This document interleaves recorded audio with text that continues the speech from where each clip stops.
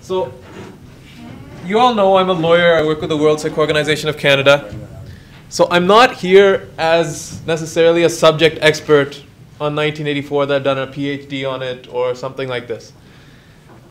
I'm here as someone that probably has thought about it quite a bit and has read about it. So, whatever I tell you, don't take it for the gospel truth. It's just my understanding, my uh, interpretation. But for me, what's important about 1984 is to get a deeper understanding of what happened, why it happened. Because when we look at something as you know, heroes and villains, as dichotomies, we don't really have a true understanding, right? And often our understanding of 1984 is Indira Gandhi bad, Sant Jarnail Singh good, conflict, and you know stuff happened.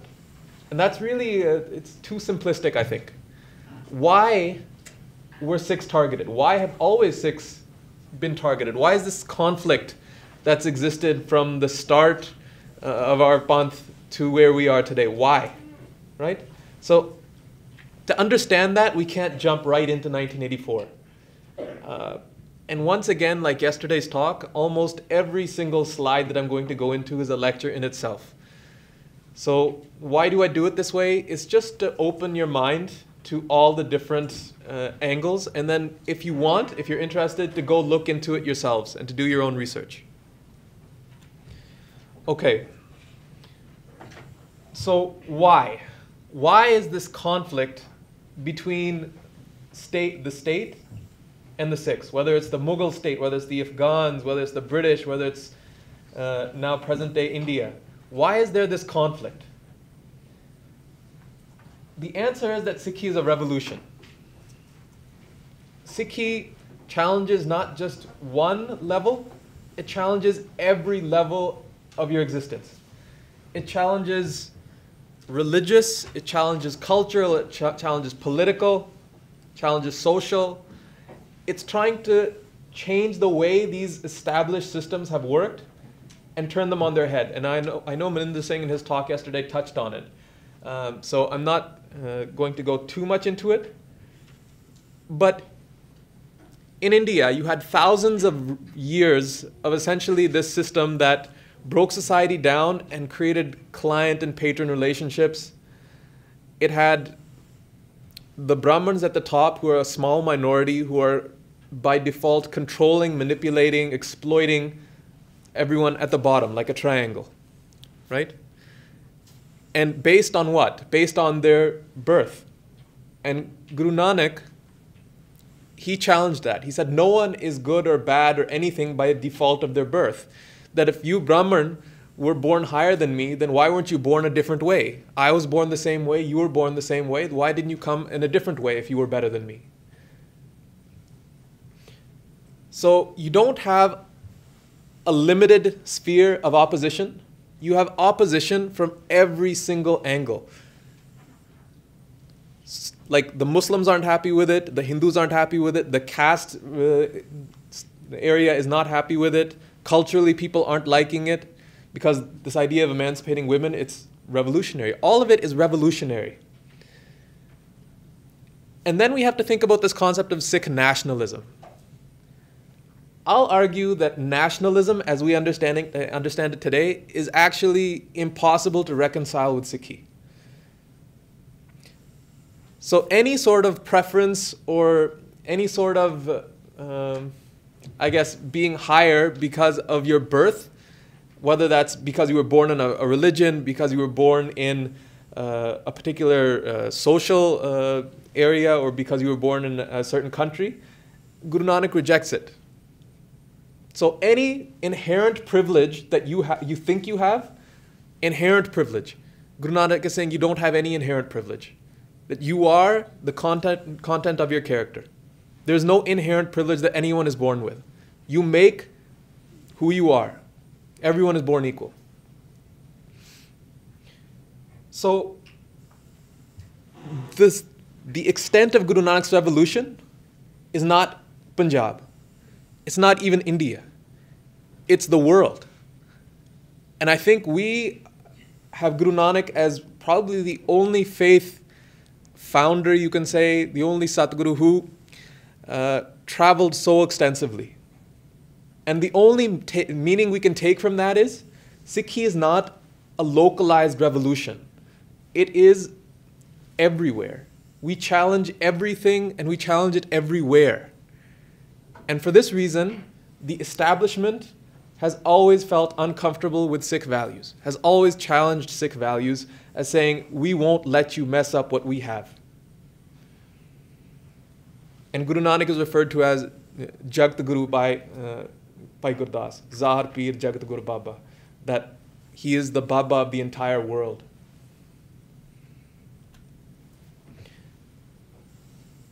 So, taking this client patron relationship that uh, almost the vast majority of people had, Guru Nanak said, You are sovereign, that you don't have anyone above you except God, that you serve the entire world, but you have a direct relationship with God, and God is your only sovereign.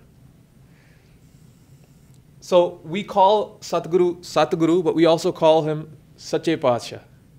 And this started at the Guru Sahib's time as well. Sache Pacha, true emperor, so the emperors at that time were saying, if he's the Sache Pasha, then where does that leave me, right?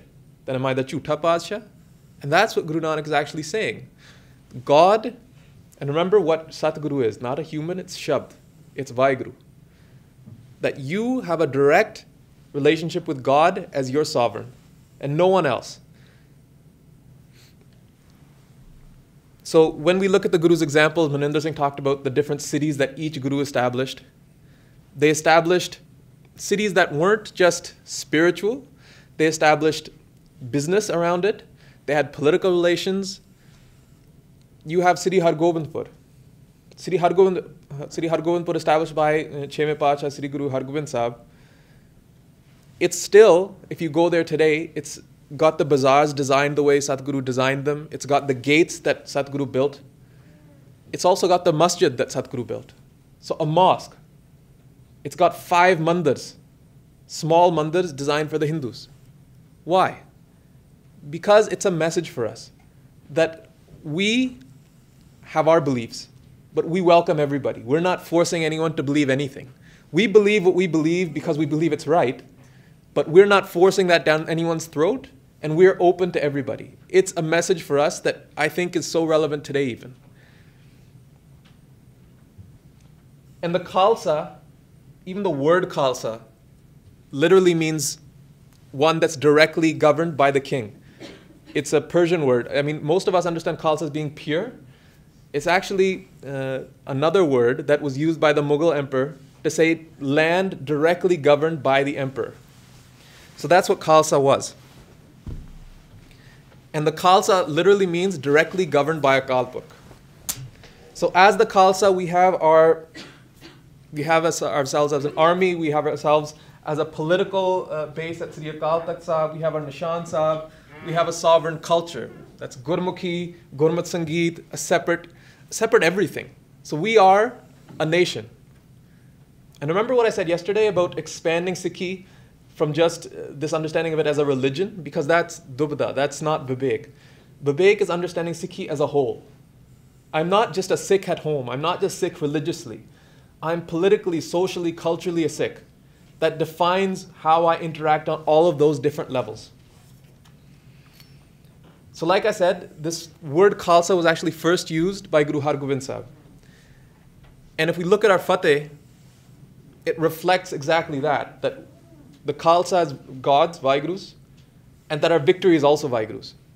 So, when we are doing anything, if you have God on your side, then there's no doubt that you're doing it and you will re- receive success for it. That you're not you're not doing it for yourself, you're doing it in a larger mission. And that's what those ideals were about, right? About uplifting everybody, about making things better for everybody, not just for Sikhs, but for everybody in this in this world. And that's where that thinking comes. na daro aur se jab jaye daro nischay kare apni jeet karo That I'm sure of my success. That I know that I'm doing this and God approves of this, and that's why I will be successful.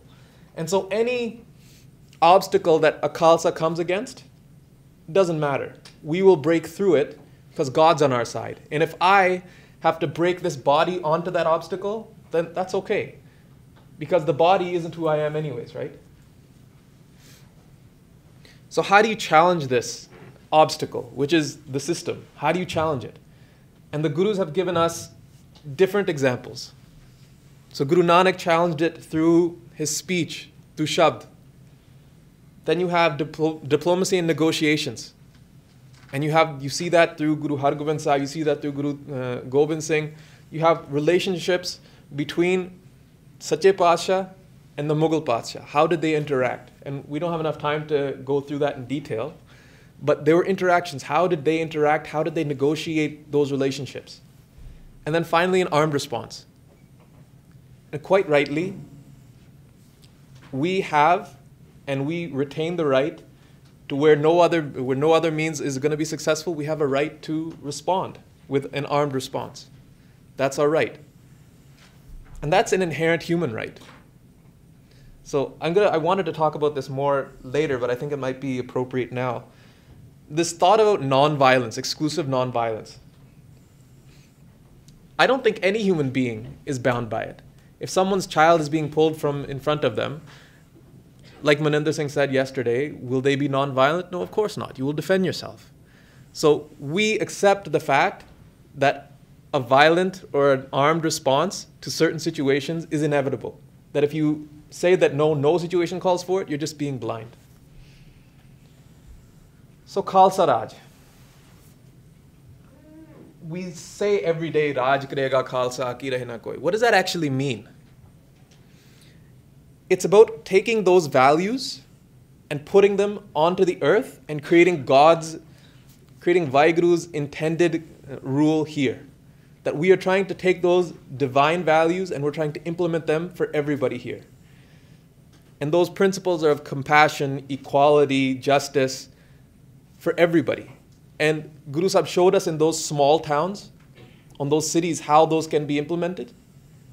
And our goal as the Khalsa has always been to see that happen for everybody everywhere. So each Sikh starts with the thought that I'm going to create Khalsa Raj first within myself.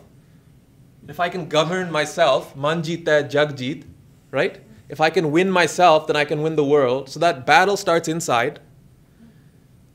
And then we move to our family to create these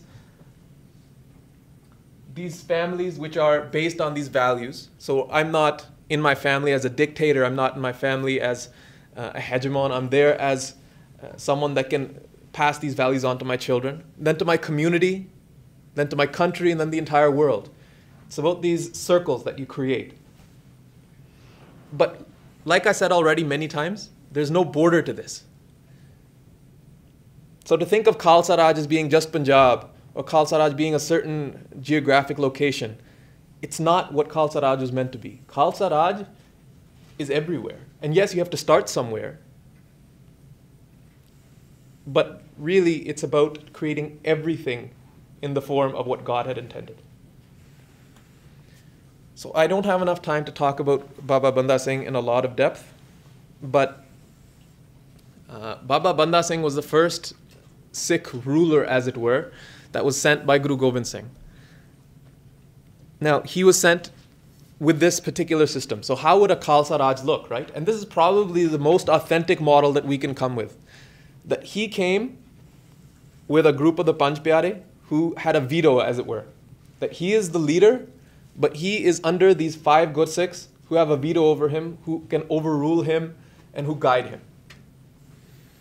What does he do? he's not there to take over territory. He's not there to conquer Punjab. He's going through Punjab and liberating these cities and creating a new system. So this client patron relationship that existed for centuries, hundreds and hundreds of years, where these people were working the land and didn't have any sort of uh, fruits of the labor, who were essentially indentured, indentured labor slaves, he's giving them the right to the land. He's freeing them. And what's happening? People are joining him. If you look at these quotes, these quotes are basically contemporary or slightly after. It's talking about the fact that you can have someone who's the lowest of the low he joins with Baba Banda Singh, and in short time he would return to his birthplace as its ruler with his order of appointment in his hand. So he's taking these people that had no relationship with any sort of power, and he's putting them in places of power. And he's giving liberty to Muslims and Hindus who are joining him. And on top of that, these people who they're ruling over, they're liking this Raj so much, they're liking this idea so much that they're themselves voluntarily becoming Sikhs. So that's our first idea that it's about reforming the system. It's about revolutionizing the system, and that's what Baba Banda Singh tried to do in that short time that he was uh, active, in those eight years essentially. Then you have 1716 onwards, after Baba Banda Singh Shahidi, you have the Sikhs who are a persecuted minority, and you have misls. And you have these misls who then eventually, I'm cutting through history really, really quickly, they develop these kingdoms, these small kingdoms. And you essentially have a return from this revolutionary idea.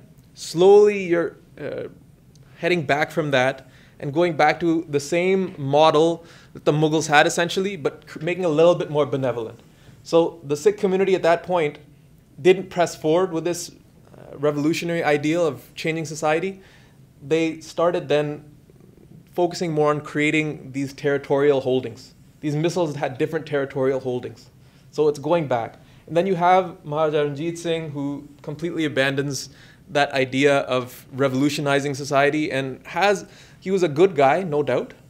And we can learn a lot about, uh, you know, how he ruled and with compassion and essentially it was a secular society. But he didn't revolutionize the way that rule was. He just adopted the Mughal system of king, emperor, and uh, vassals underneath. And then you have the conflict with the British shortly after Maharaja Ranjit Singh's death, and the Khalsa, which was enjoying this rule for a small period, is now once again uh, a gulam, a slave of the British. And there's a famous poem called Jang Hind Punjab Da. Um, and one of the most famous lines in it is Ik sarkar jit ke that without proper leadership, the Faujan, the army of the Khalsa, has snatched defeat from the uh, mouth of victory. That even though they could have won because they didn't have proper leadership, they were defeated. So, where we started with Punjab being the first Khalsa Raj, as it were, being our des, you see that eroding after 19, uh, in the lead up to 1984, into 1947. You have Sikh institutions that are being changed. So Gurdwara, we look at Gurdwara today and they're dysfunctional. Like let's just face it, the Gurdwara and the way they're governed today is dysfunctional. Gurdwara were meant to be social, political, cultural hubs, right? They were supposed to be for the community. So how did it get to the way it is today? Just as an example, when the Khalsa was being persecuted, they had these people who were sympathetic to the Sikh cause, Mahants, who were not Khalsa themselves, administering these places. And they continued through Maharaja Ranjit Singh's time. So the British come and they bring their idea of property. And they look at this Gurdwara with the amount of land that's endowed to it by Maharaja Ranjit Singh and other, other Sikh rulers. And they say, You're the one that takes care of all this? And the Mahants, Yes. Okay, so that means you're the owner, right? So it passes essential ownership rights of Gurdwara to people who weren't supposed to be the owners. And then they start collecting the wealth that's coming in, and that wealth corrupts them. They pass that on to their children, the children's children. So these people who are administering Gurdwara, who are owning Gurdwara, no longer have any link or sympathy for the Sikh cause. The only link they have with Sikhi is that they're getting money from Sikhs. Sikhs now try and reclaim these gurdwara. And what's the British problem with that? The British problem is that if this is private property, today you want to grab these gurdwara, tomorrow who knows what you'll want to grab. So under what legal basis are you going to be taking these gurdwara away from these mahants? What, what's the legal precedent for it? the Sikhs have this wide scale agitation and they manage to convince the British that no, we, we will get it back, and the British convince the Mahants to cede control. They get certain things in return for it. But the British ask, so how are you going to do it then? And this is the birth of the SGPC. And the SGPC is the first democratically elected body in Sikh history. So we now take a British system. So remember, the Khalsa is supposed to be revolutionizing, supposed to create something new. First, we adopted the Mughal system, and now with the British, the British, how are you going to govern your Gurdwara? We say, we'll do it through democracy, we'll do it through votes. So now you have Gurdwara up to this day being run through elections and votes. And we know that elections and votes are not the way a spiritual community is going to be run. Like the most spiritual person is not almost never the one who's going to get the most votes. Anyways, our institutions, whether that's Sarbat Khalsa, Akal Takht, all that is being slowly eroded.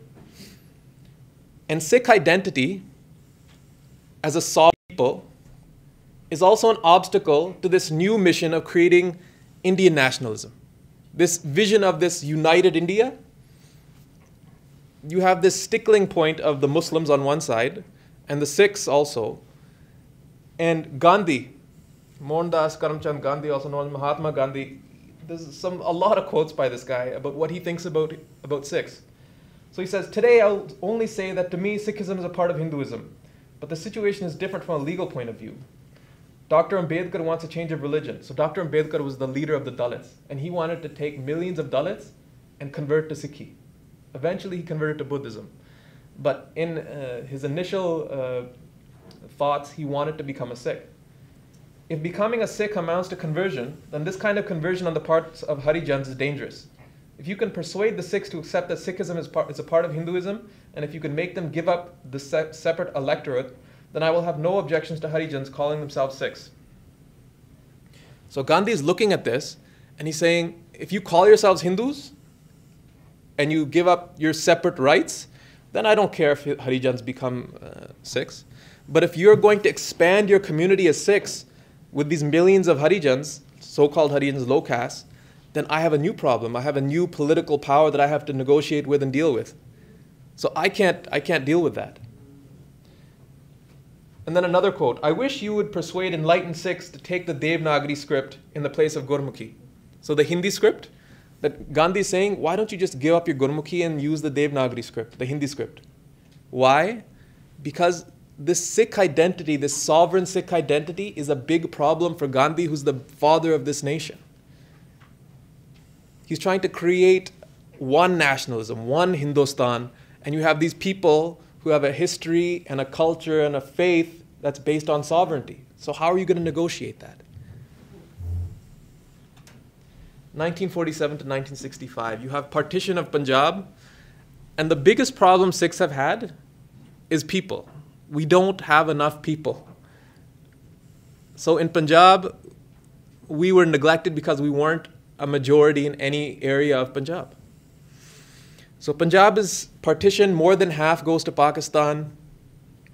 About half of our population is on the wrong side of this border that's been arbitrarily created. I mean, if you really, it is sad.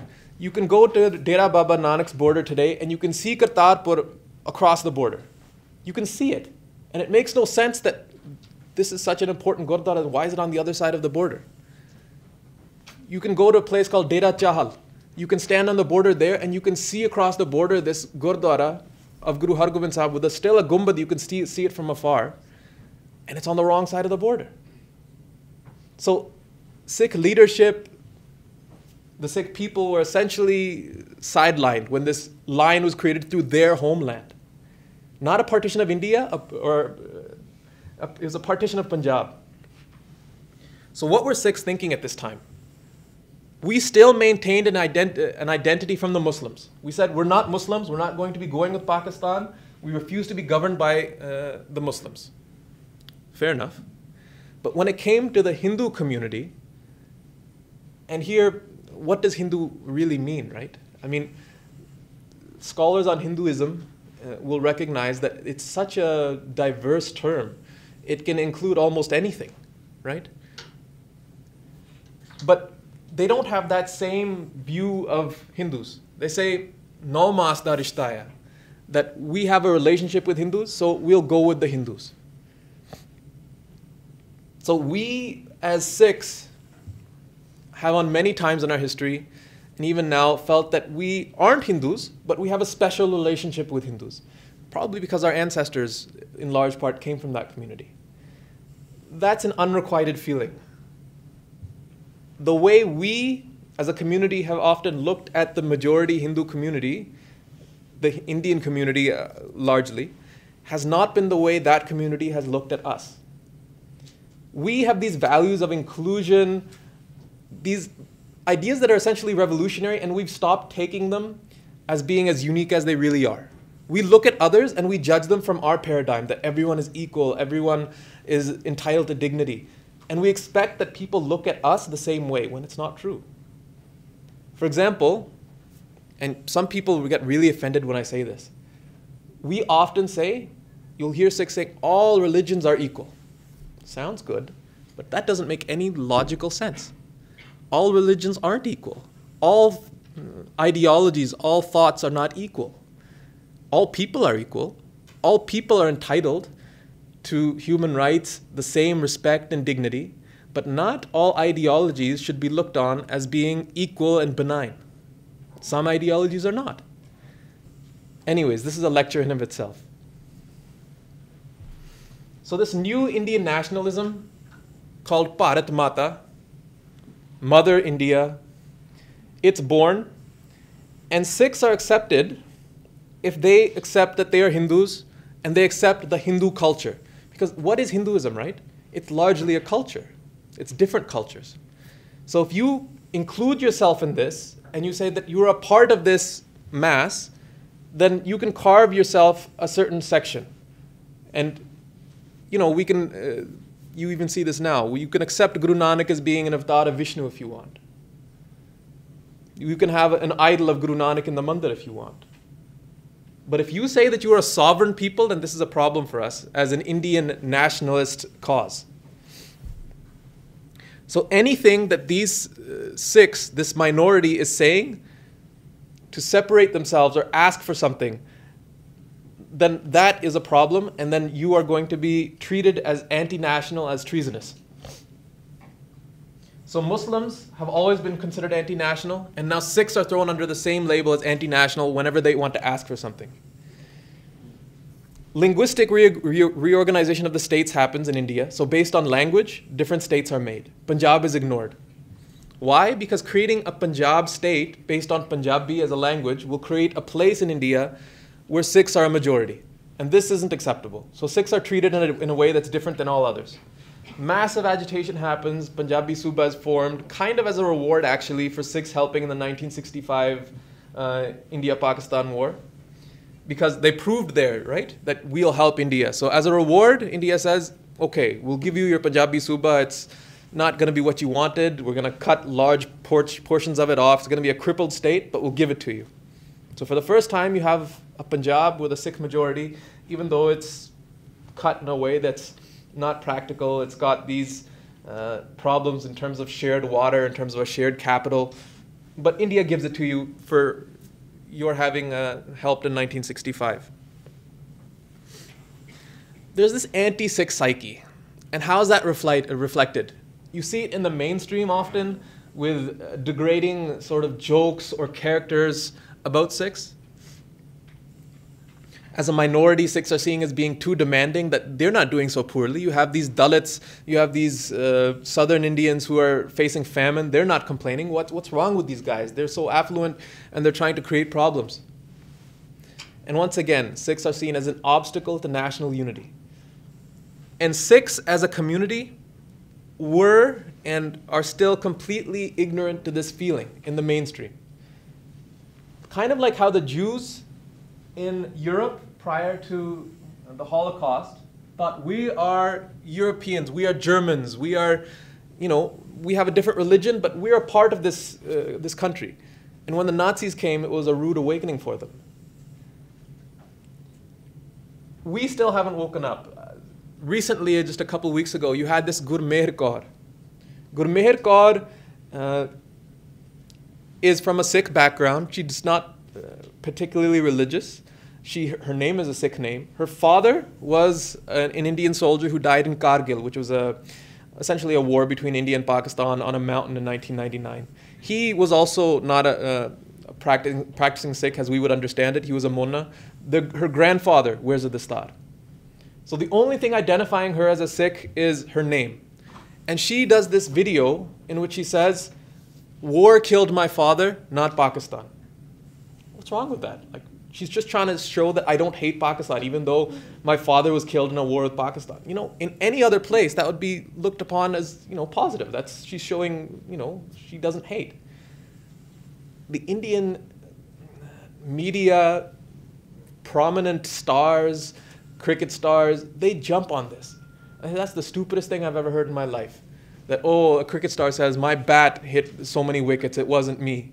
I mean, and then you have these politicians who are making fun of her Sikh faith, who are insulting her. Then you have so many people who are even going so far as to say that she should be raped because of making this comment. And it's really focusing on her Sikh identity, that she's, she's just being stupid. You've never seen this. Uh, you wouldn't see the same sort of hatred towards her community if it was a Hindu.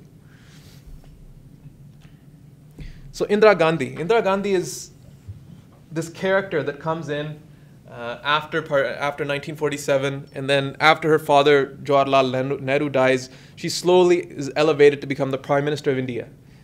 We look at Indira Gandhi as a witch, as a villain. But we have to understand who she was and what was going through her mind, right?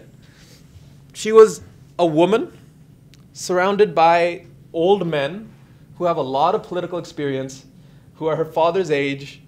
She's feeling vulnerable. She's feeling that, do I really deserve to be here? So, what does she do? She tries to go out there, she tries to overcompensate in a way. And after the 1971 war with Pakistan, where she defeats Pakistan, Bangladesh is created, she's elevated to the status of Durga Mata, the warrior goddess the goddess of war. After this, she's looked upon as being more than just a political leader. She surrounds herself with sycophants, people who suck up to her, who won't tell her the truth. She becomes essentially a dictator who thinks that she can run India however she wants. She declares an emergency when her government is about to fall. And these Sikhs in Punjab are one of the only groups who massively oppose her emergency. So she declared an emergency across India to essentially stop her government from falling. And Sikhs protesters, 40,000 Sikhs, and they are using Amritsar as the center of this agitation. So Sri Darbar Sahib, these groups are leaving from Sri Darbar Sahib and protesting her emergency. She takes this personally. She's not used to anyone opposing her anymore. She can't take that. So she sees Sikhs already from that paradigm that these guys are anti-national, they're not exactly Indians. And she says, for sure now, these guys aren't Indians, they're a problem. And she decides to use Sikhs as a pawn in her political game. So she won her next election after the Bangladesh war. Huge victory because she was Durga Mata. She had this uh, military victory. Now she's going to use the Sikhs in a similar exercise in the lead up to the 1984 election because she's coming for re-election in 1984. So it's a very long story about what she does. Akal Takht is a Sikh center. Like agitations are happening from there. She tries to create divisions. She tries to support one group of Sikhs against another group of Sikhs. She's trying to play politics within the Sikh community as best as she can. And she creates groups like, for example, the Nirankaris, who originally were largely from a Sikh background and became a, a cult that tried to ins- uh, basically insult who Sikhs were. They said, You have your Panch Pyare, we'll create a Sat Sitare. You have your Vaisakhi on the same day, we're going to have our convention in Amritsar. So, just to provoke Sikhs, to create these conflicts, create these fissures for her own political success. 1973 Anandpur Sahib Resolution. This document became the focus of Indira Gandhi's and the Indian state's problem with the Sikhs, that they've declared that they want these rights. And some of them said this is a declaration of independence from India. But if you look at the document, There's no request or demand for a separate Sikh state in it. What is, what is this document calling for? It says greater federalism that respects diversity. Chandigarh to Punjab, merge Punjabi areas to Punjab, fair division of the waters in Ravi Beas, end employment, assist, assist the labor class, dignity of labor, um, uplift the poor and depressed sections of society, stop the exploitation uh, by capitalism, and a special ministry for low caste to uplift them. None of this is inherently wrong. None of this is uh, separatist. It reflects Sikh values, right? It's the Sikh psyche, even though we've changed a lot since when we were rulers, it's still focused on Guru Granth Sahib, still focused on those values that we've gotten. And this Anandpur Sahib res- resolution reflected those values, but it's declared anti national, that this is unacceptable. So when their demands aren't met, the Sikhs start an agitation. So groups go and mass arrests happen, and it's a protest of why isn't India giving us these demands?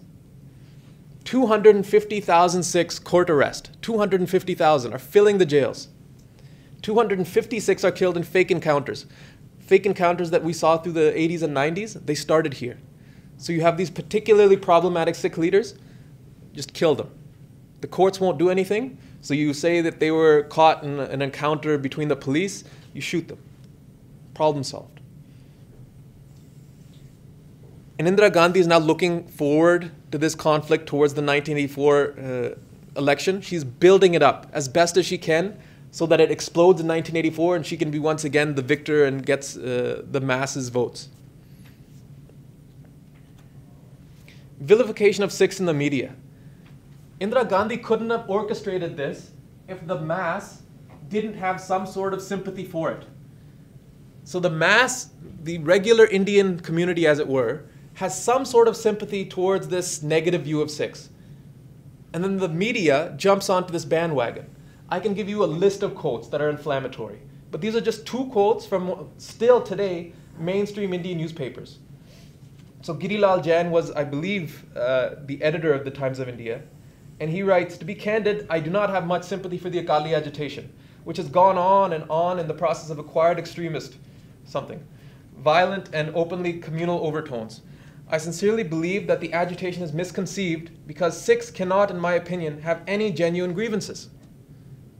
Sikhs cannot have any genuine grievances. The editor of the largest newspaper in India is saying. He's publishing this. That these guys are just, they're just agitators. Hindustan Times, April 4th, 1984. Get the killers.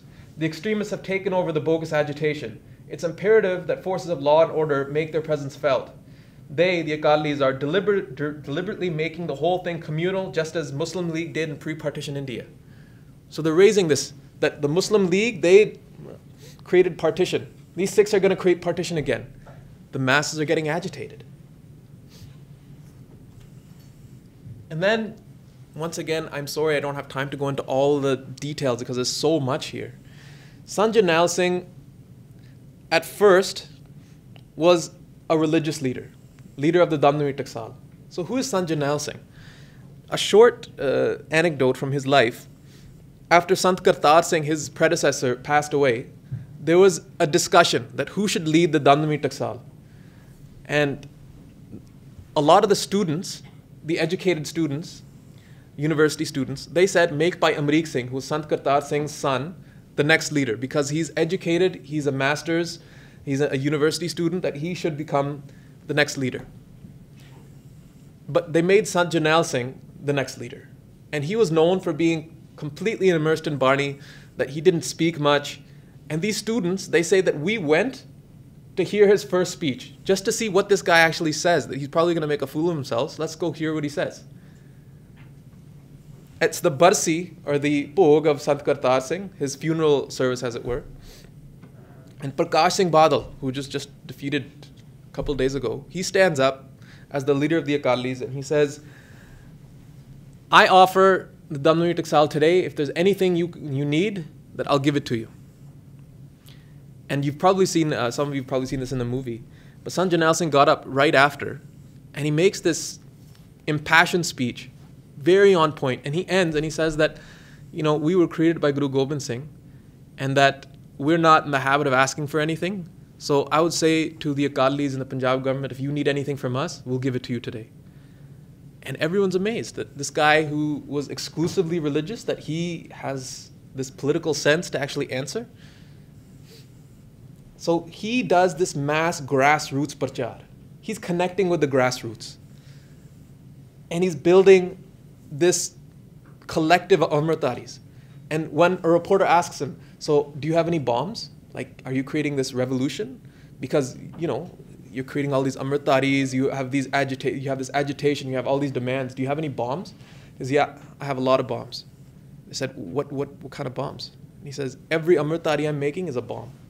Every Amritdhari I'm making is going to be an explosion for your system. So the Sikhs look at him, he's trusted, he's respected. And Indira Gandhi, so this is the part where some people say that Indira Gandhi created Sant Jarnail Singh. It's not true. Sant Jarnail Singh was a leader, but that having been said, Indira Gandhi did try and play off the Akali leadership on one hand and Sant Jarnail Singh on the other, trying to create this fissure where there would be a polar opposite between the Sikh community and the Akalis would lose uh, some of their uh, support base. So she did try and play it off, but to suggest that Sant Singh was a creation of her, it's ridiculous.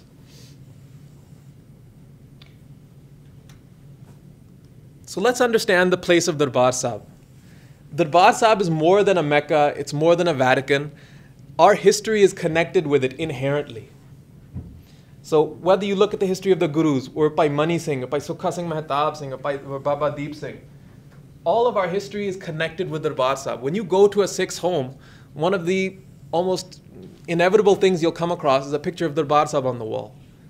Every day we ask for Sri Amritsar Sahib Ji ki darshan ishnan it's a part of our psyche that Amritsar is our center. It's our political center, it's our cultural center, it's our religious center. It's where all of our agitations start from. And rulers have in the past destroyed Sri Darbar Sahib on many occasions. The Afghans recognized the importance of Darbar Sahib and they destroyed it. So Abdali asked, where do these Sikhs get their power from?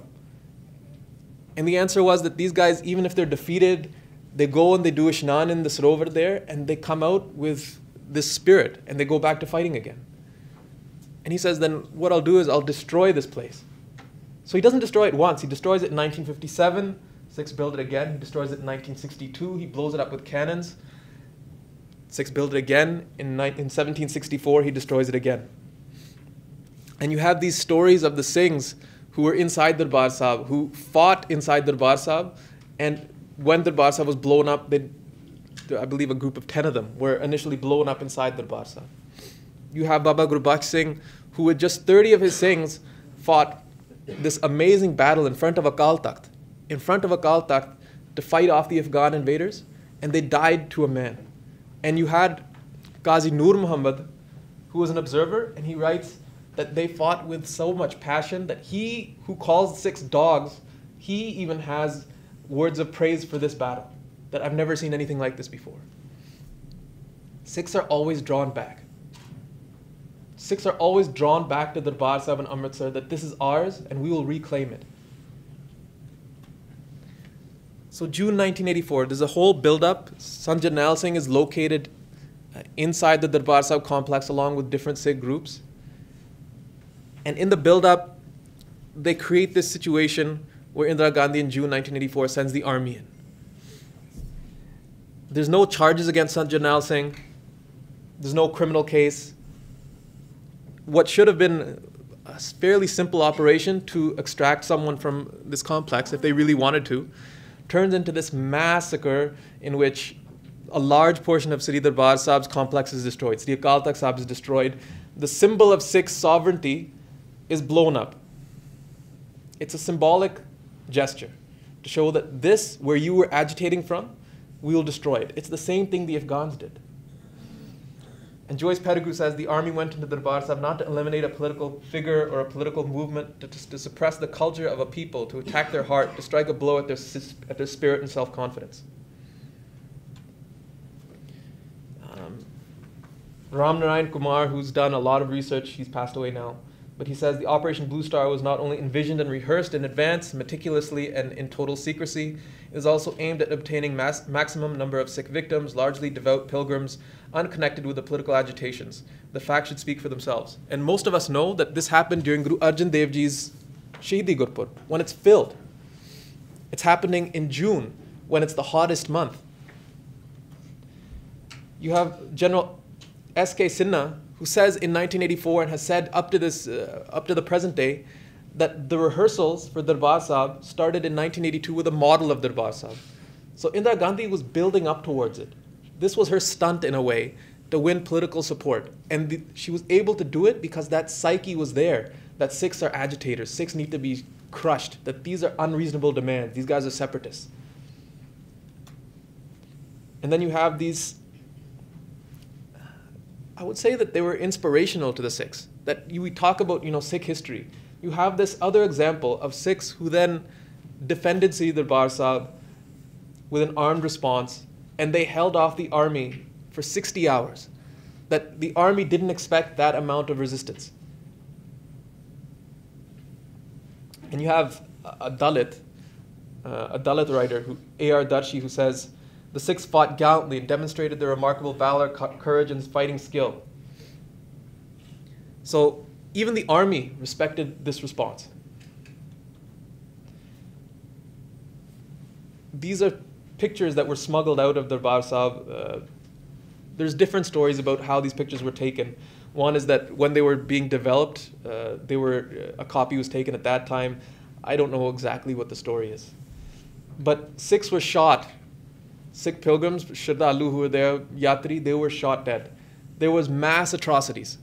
There was a genuine, genuine hatred for Sikhs by the army. That was only made worse by the fact that the Sikhs had killed so many of their colleagues. What happened after?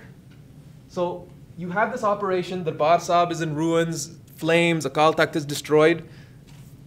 The physical building is destroyed. Now, how do you destroy the idea behind it? How do you destroy the idea behind this sovereignty? They took the Jathedar of Akal Takht, his name was Jathedar Kirpal Singh, and they have him read a statement. That's the picture of the statement, in which he says, Kotha Sahib, which is the area in uh, Akal Takht where Sukhasan happens, Kotha Sahib is fine, that everything is fine. And this propaganda video, it focuses just on the Pida Sahib there where the Sukhasan happens just focuses on the Rumalle there. And he's saying Kotha Sahib is fine. And everyone knows this is a complete lie. And the Jathedar of Akal Takht, who was once Akali Phula Singh, who were these revolutionary leaders, he's like uh, in Punjabi and Piji Billi. He's standing there and he's reading lies off a piece of paper. So who are Sikhs supposed to trust? Sant Jarnail Singh, he's not there anymore.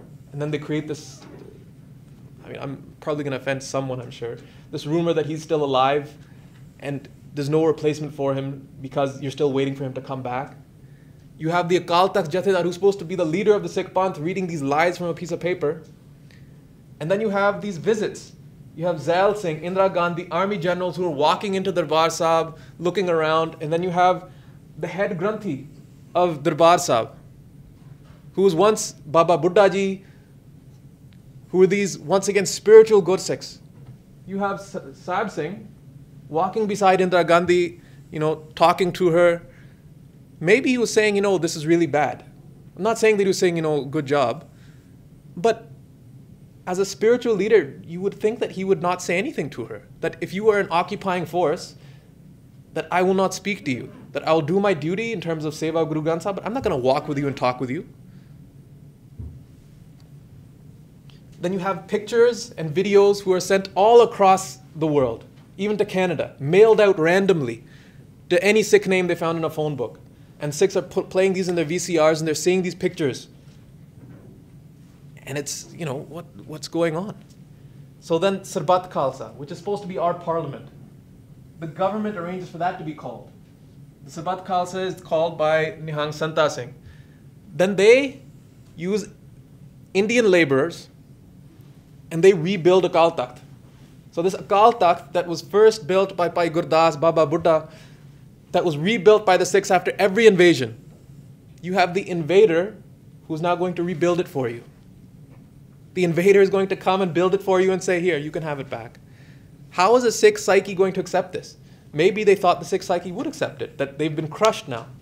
But this only inflamed those sentiments. So the occupation of Sri Darbar lasted for several months, and Sikhs would go and they would go for periods in the day, but it wasn't open. And there's a picture of when it finally was opened of Sikhs running in the streets, running in the streets to go back to have darshan. This was followed by Operation Woodrose, in which Amritdhari youth in the Pinds were picked up, tortured, killed. It was a systematic attempt at crushing that spirit of resistance and creating a military victory for Indira Gandhi at the same time. So Indira Gandhi is assassinated by Bhai Satwant Singh and Bhai Beyant Singh. I don't have time to go into how that happened, but you see these mass killings of Sikhs across India. Here's an interesting quote. We talk about, you know, Argentina, uh, Chile, and all these places where killings have taken place. And Barbara Crossette, she makes this uh, observation. Almost as many Sikhs died in a few days in India in 1984 than all the deaths and disappearances in Chile during the 17 year military rule of uh, General Augusto Pinochet. So Pinochet is recognized as a villain, that this person has killed so many people. In three days, more Sikhs were killed in India than in that 17 years. World doesn't know about it. The Nanavati Commission, which was essentially a useless commission, didn't result in anything. They recognized that, but for the backing and help of influential and resourceful persons, killings of Sikhs so swiftly, swiftly and in large numbers could not have happened. That these weren't just mass uprisings of people who decided to kill Sikhs, something was organizing it. It was the Congress, Congress party, Congress government that facilitated the mass killings of Sikhs. How were Sikhs killed? as a community, I don't think we've even focused on this as much. Have you ever heard of anyone being murdered with a tire? Forget, you know, thousands of people being murdered with tires. Even one or two people. How, when was the last time you heard of a person being wrapped in a tire and being lit on fire?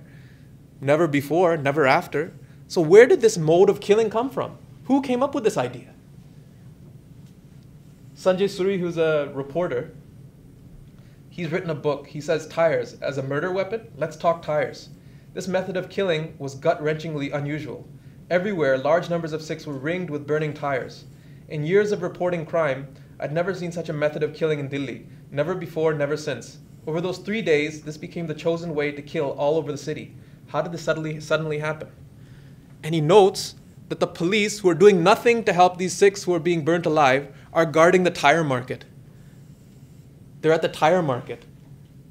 Why? Because they're handing tires out kerosene, which is being used to light the fires, where's the kerosene coming? Kerosene is rationed. It's coming from the government. These people who are attacking Sikhs with lists, where are these lists coming from? Either the municipal corporation has them, utilities have them, or there's voter lists. Voter lists. So these gangs, these mobs, are being handed voter lists and they're being told where the Sikhs live. So you have government organization at the top but the masses underneath, they're just the people. And they have this grievance that Sikhs deserve a punishment. Even after. The media, society, they don't recognize the atrocity that's happened. They recognize Indira Gandhi's death. They don't recognize what happened to the Sikh community as being an atrocity. There's still today, today no government memorial to those killed in November 1984. No memorial at all. The Sikhs have created one recently, but the government doesn't recognize it. And in fact, people were commenting that Sikhs deserved it. They brought this on themselves. Rajiv Gandhi justified the killings as being a large tree, and when a large tree falls, the earth, shatter, the earth shakes a bit. And what happens? Just as Indira Gandhi predicted, unfortunately, she didn't predict that she wouldn't be alive to see it. Massive Congress victory 404 seats out of 533. Massive victory. The Indian people reward this action with votes. And the perpetrators who orchestrated these killings, Rajiv Gandhi makes them cabinet ministers. Armed conflict. I can't go into any depth here. I'm going to have to move really quickly. But people ask me, how can you justify what was essentially a terrorist extremist movement? My answer is this your family is being picked up, disappeared. You go to the police, the police want to arrest you. The government's not helping, the government is encouraging this. The society, civil society, media, no one is on your side. What option do you have besides picking up a gun and defending yourself? Who wouldn't understand that? That was the situation. There was no police. There was no civil society protection. There was no media. There was no government that was protecting or trying to stand up for the Sikhs at that time. So the Sikhs did, this group of Sikhs did what they could do. They grabbed whatever weapons they had, they did what they could, and they resisted. There's different uh, highs and lows in this movement. But essentially, you have the security forces who are a colonial force. They've never been reformed after the British left.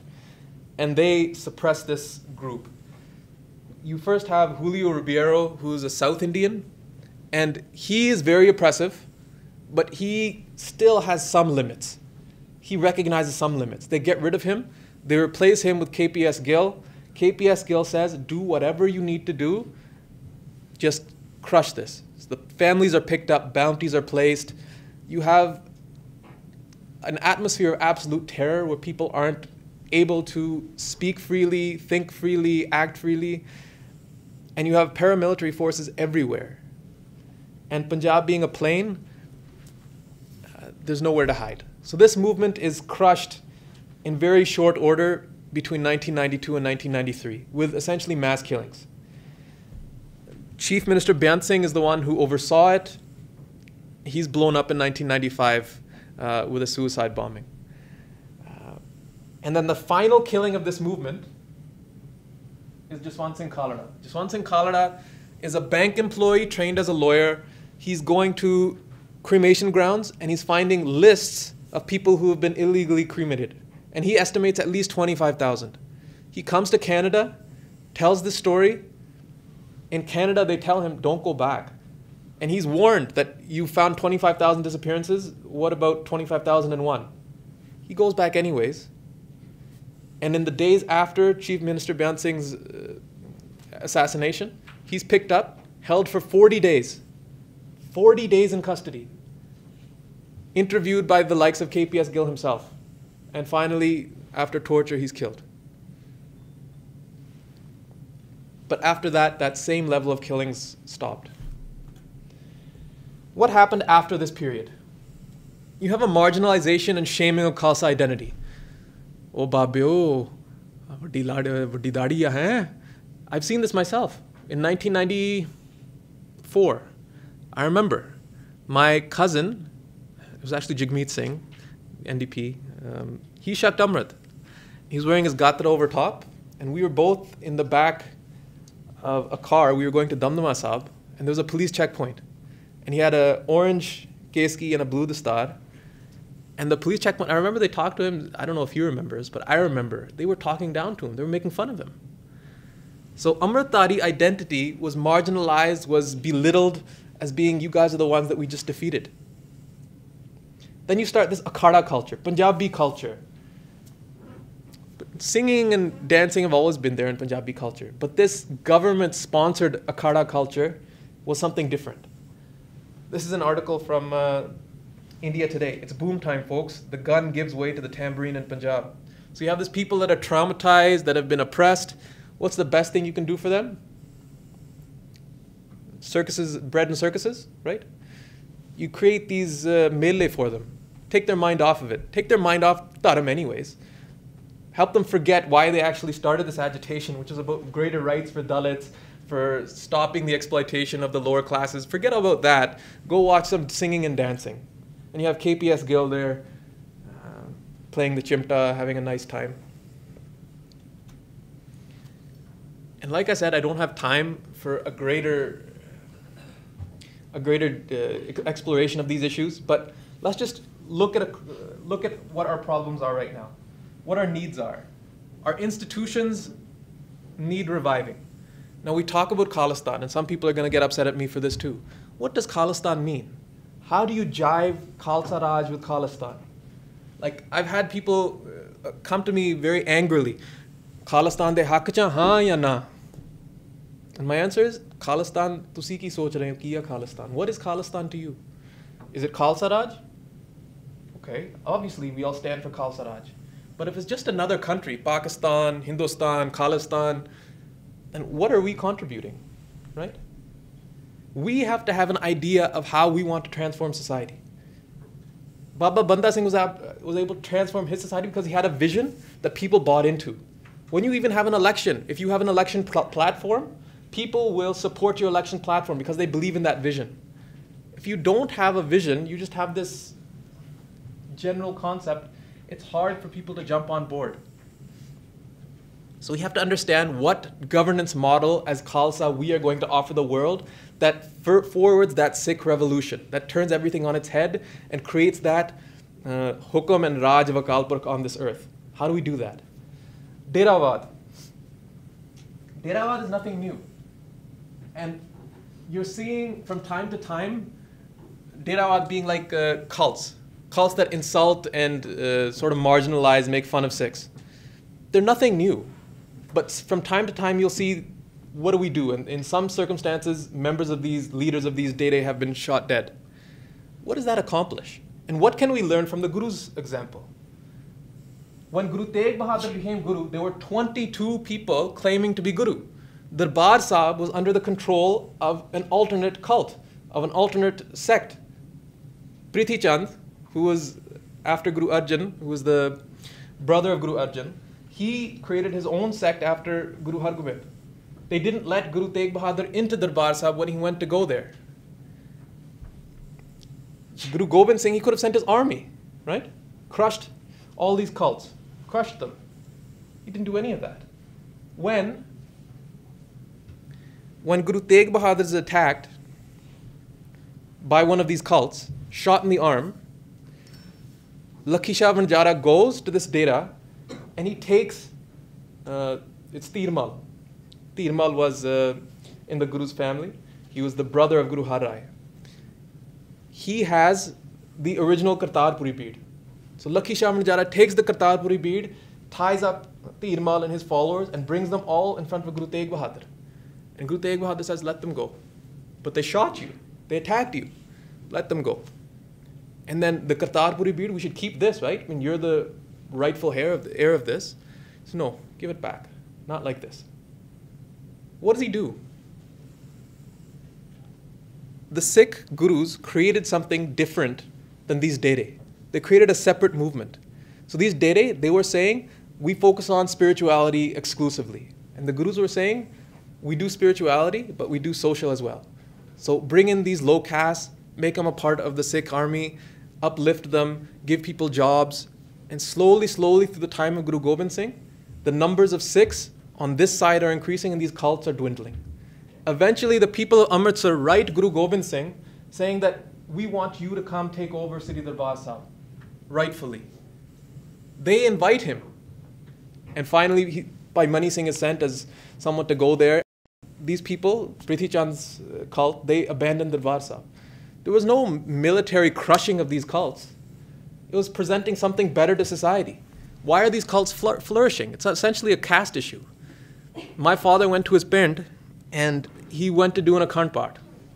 So he goes to the Gurdwara and he says, How much for the akhand path? And they tell him the price. And there's this uh, so called lower caste woman doing chadu. And he says, How can anyone afford that? And the lower caste woman says, Only you people from outside can afford it. We can't afford it. So these cults, they're offering these people religion, they're offering them dignity, where the Gurdwara are charging them a price for it. Our institutions are failing, and simply eliminating these cult leaders won't accomplish anything. We fix ourselves, and then we can fix the problem.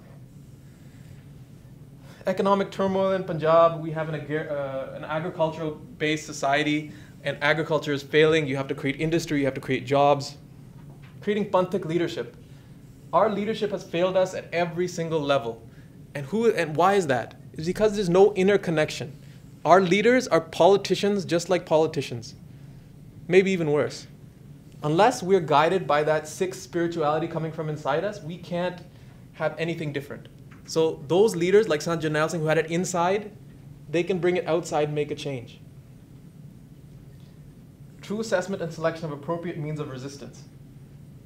So, what I'm trying to say here is resistance doesn't always mean taking up a gun and shooting uh, who you think is your oppressor. It means finding the most appropriate way of changing the situation. Guru Gobind Singh, four sons are killed, father is killed, mother is killed. By who? Aurangzeb. What does Guru Gobind Singh do? No longer has Anandpur Sahib. He doesn't say, let's gather, gather an army and start a guerrilla uh, warfare against Aurangzeb. He writes a letter to Aurangzeb. And the, he starts off by listing Aurangzeb's atrocities, saying, You're a tyrant, you're a liar. But at the end of Zafarnama, what does he write? He says, Let's meet. Let's have a discussion. Aurangzeb agrees to this. He dies before that can happen. But Guru Gobind Singh then has this discussion, this dialogue with Bahadur Shah, who is the successor. Jahangir is the one in his memoir, he writes that I eliminated, I executed Guru Arjan because uh, these mistaken Hindus and even Muslims are becoming his Sikhs. Guru Hargobind is imprisoned by Jahangir. But even despite these things, there's still a dialogue between Jahangir and Guru Hargobind. They still meet, they still have discussions. Guru Hargobind is still recorded as having saved Jahangir's life when a tiger attacked. After all this, which is not to say we should be subservient, we should get rid of our dignity, which is to say we have to look at our examples and choose the right way of approaching and be guided by our siddhant, by Gurmat. There's no easy solution to any of these. It starts from within us, starts from bringing Sikhi within us, then to our families, then to our communities. But it starts with Sikhi. Sikh Panth will be saved by Sikhi. It's simple, but it's the truth. All right, I'm going to stop here. Okay, I'll go on. Here in Canada, the effects of what happens in Punjab affect us here. After the 1985 Air India bombing, Sikhs were seen as villains. Sikhs were seen as being terrorists. The Sikh image was damaged very, very severely. And repeatedly, when Sikhs have agitated or asked for basic accountability from the Indian state here in Canada, that has been labeled as extremism by the Indian state, and that's been used to muzzle Sikhs. Along with other things, like still to this day, you will have Sikhs who are afraid of speaking their minds because they're afraid they won't get a visa. They're afraid of being blacklisted. It's legitimate, but we're always afraid. And this fear is used against us. So, in 2012, I can go even further back, but this is kind of contemporary. 2012, John Baird goes to India and every time a Canadian politician goes to India, they ask him the same question. So, what are you going to do about Sikh extremism? And these politicians don't know what they're talking about. Like, they don't know what to say. So, they just make some generic comment. Well, you know, if they're radicals and extremists, then we'll, you know, do whatever we can to combat that. And you have then headlines in India that minister says that Khalistan uh, activists will be deported or they will be controlled, something.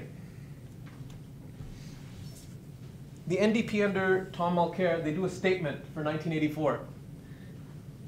They recognize that there was this mass killing in 1984, Tom Mulcair, and the Indian ambassador, he criticizes that. Indian envoy decries Mulcair's misleading Golden Temple remarks. And you have Tarek Fatah, who's essentially an idiot. I mean, I have nothing good to say about the person. He's a Mulcair needs a lesson on India, and he, I'm sure, is the person to give it. So once again, Harper then goes in November 2012. But before that, I'll tell you that um, six members of my organization, we'd met with members of the Conservative Caucus and we'd explained the situation. And there were members of the Conservative Caucus uh, who were of Sikh background who helped uh, explain the situation. And when this question of Sikh extremism rose again, Indian politicians expressed concern to Stephen Harper about Sikh extremism. Something different happened. Stephen Harper pushes back on Indians' warnings on Sikh extremism. In Canada, you don't call political speech extremism. You call it opposition, you can call it uh, whatever you want, but it's not extremism. So Harper actually says that he won't interfere with political speech. That if someone's being violent, then that's one thing. But political speech is completely different. Peaceful Khalistan protests will not lead to deportation. Like, how is this even a headline? Like, how could peaceful deportations, like, why would you think it could lead to deportations? Right? This is an Indian headline. So, education makes a difference. Being able to express our struggle, our experience, makes a difference. And we have to do that. We have to be able to explain the Sikh struggle, the Sikh situation in a way that people can understand. And that's not because we're being subservient. It's because when you have any struggle, you need allies.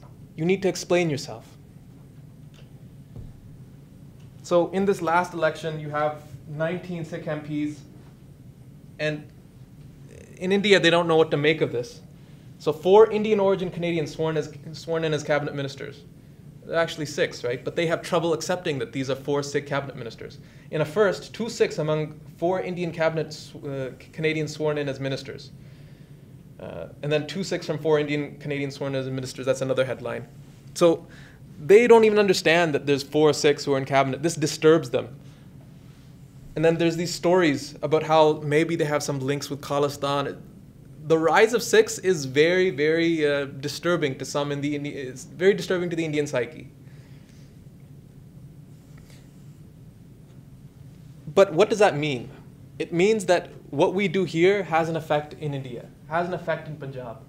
Our success here has an impact on what happens in Punjab. And just finally, where we are today as a community in Canada these are cartoons. And I know some people might find this uh, offensive. Why are you showing this? But this is from the Montreal Gazette. Uh, this uh, cartoon artist, he still he does cartoons for the Montreal Gazette even today. In 1984, you have a picture of an angry monkey, radical Sikh, don't feed. And then you have, uh, in 1986, uh, a picture of a Singh in Barna, Khalistan, let's see, Khalistan, animal, vegetable, or mineral. Essentially saying we don't know what you're talking about. We have no idea what you're talking about. And what are you coming off as? As an angry monkey. That having been said, let's be fair. When Darbar Sahib is attacked, your families are killed, if you come off as angry, then, you know, there's a good reason for it. That having been said, it's been a long journey to explain what happened, and still we have to continue with our explanation of what happened, why uh, this oppression has always taken place, and kind of this discussion that we're having today. We have to internalize it, think more about it, and think how do we explain ourselves? And explaining yourself is not wrong, it's not subservient. It's just the way the world works, it's diplomacy. We need allies, we need to explain our mission, we need to explain our cause.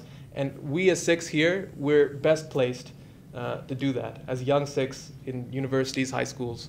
So a lot of responsibility lies with us as well. That's all I have to say. Vaheguru Ji Ka Khalsa.